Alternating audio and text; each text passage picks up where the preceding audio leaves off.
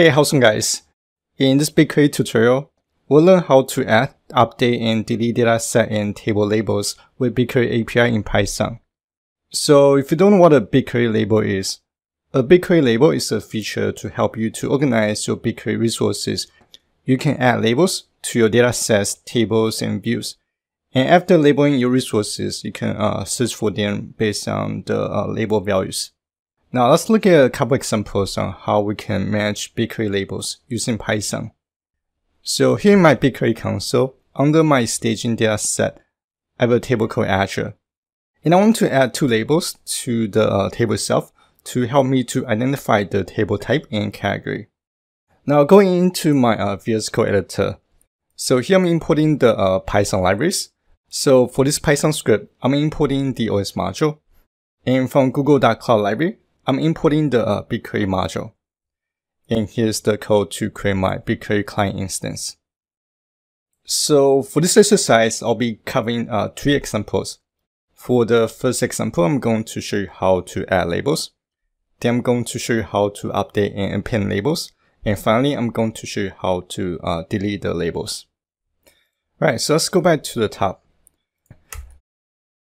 Right, so if we look at uh, these two lines, I'm creating my uh, staging dataset reference. Then based on the uh, dataset reference object, I'm providing the table that I want to uh, create my table reference to. In this case, I'm going to name the uh, object as table reference. Now to create the labels, we're going to create a dictionary. So here I'm going to create a dictionary called labels. Inside the uh, labels dictionary, I'm going to provide uh, two key value pairs. The first item is going to be the table type. In this case, I'm going to uh, name the table type social media since I got the uh, record set from Reddit's website. And for the second key, I'm going to call that as category to help me identify the table of purpose. I'm going to provide the value cloud computing. And once I create the labels, I can reference the client's library dot get table so here I'm going to insert my uh, table reference object to return the Azure table. And I'm going to name the output as table here. And once I construct my Azure table reference, I can reference the Azure table object, the labels. And here the labels is an attribute. So we're going to uh, update the attribute value by providing the labels dictionary. Now if I go ahead and run this code block here, Oh, I forgot to uh, create my client instance first. So here, let me go ahead and run uh, line 1 to line 12. And that creates my uh, BigQuery client instance, as well as creating my uh, Azure table reference. By this point, I haven't actually linked to my Azure table in my BigQuery project. So it's not until you actually use the get table method to connect to the Azure table in the uh, BigQuery project.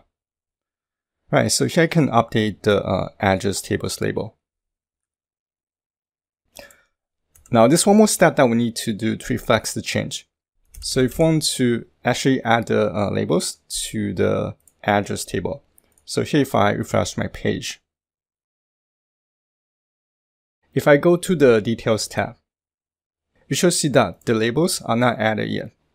And to make the API code to uh, make the change, so here I want to reference the client's object, the update table. And we're going to provide the uh, table reference first. And it's going to be Azure table, followed by the uh, category that I want to uh, make a change to. And it's going to be labels. And make sure that you uh, insert list for the field type or the uh, categories type.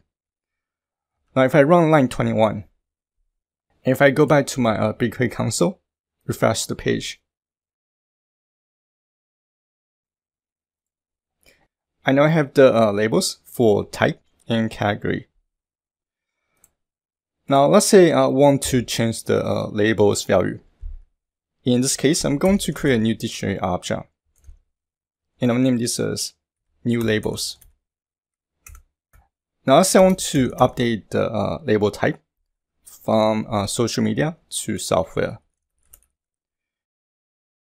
I also want to add a new label item. And let's name uh, the key as uh, year.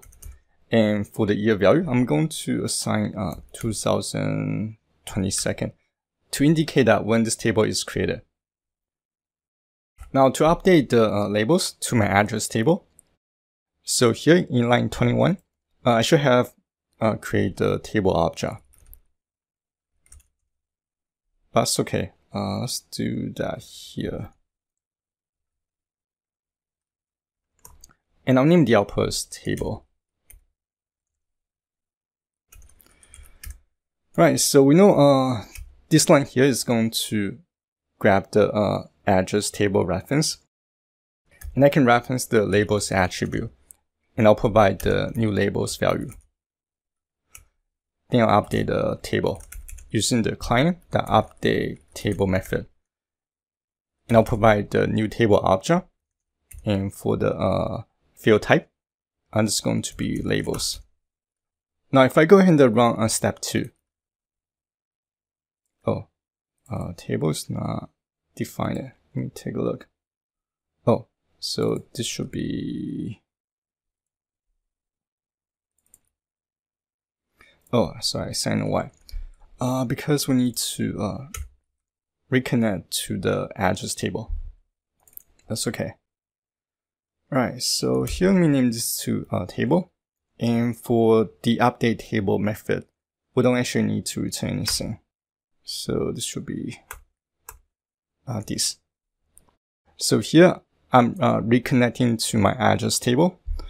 Then I'm reassigning the labels attribute with the uh, new labels dictionary. And finally, here I'm updating the table itself. Now let me go ahead and run code block for step 2. Now if I go back to my BigQuery console, refresh the page.